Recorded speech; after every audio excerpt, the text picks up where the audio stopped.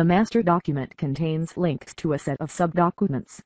You can use a master document to add, remove, arrange, and rename subdocuments. Master document helps you to maintain long Word documents by dividing it into smaller and manageable subdocuments.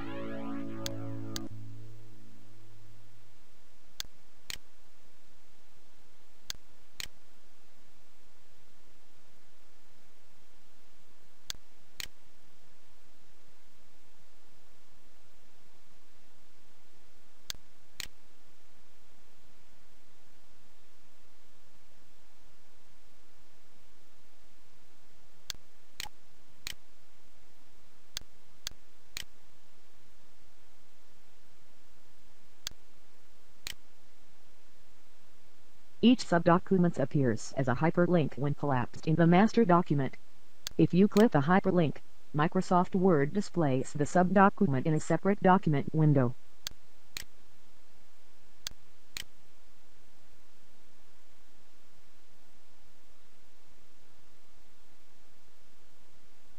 Once you have completed the process of adding subdocuments to the master document, you can create a table of contents, index, cross-references, and headers and footers for all of the subdocuments.